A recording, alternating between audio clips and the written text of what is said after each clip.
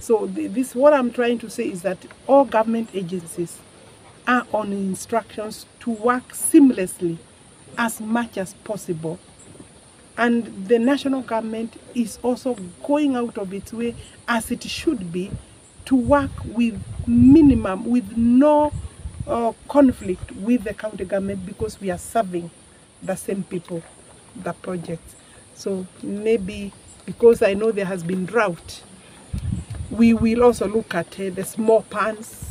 But you know, in this region, small pans will have challenges because the amount of water you put in a small pan really is, is uh, against the weather. Or, or ensuring that it is completed. The, the, we, what we have been doing here is uh, Bakuli 4. Bakuli 4 is uh, a new dam project.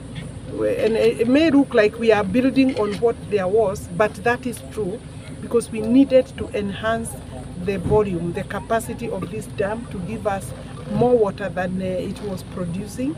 Cubic meters per day, that is the water we shall get from this.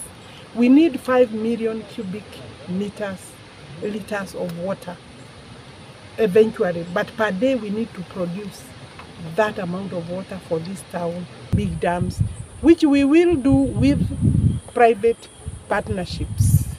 We are continuing to encourage people to agree to invest in water. Yes, that duration has been extended over time, and currently we are at a duration of about 50 months. One of the challenges was that it took too long to secure the dam site constructing the project.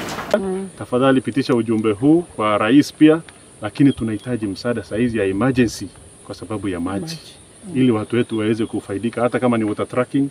Zamani kuna magari ya NYS water bowsers tunapewa, hatuoni msaada wote kutoka serikali kuu.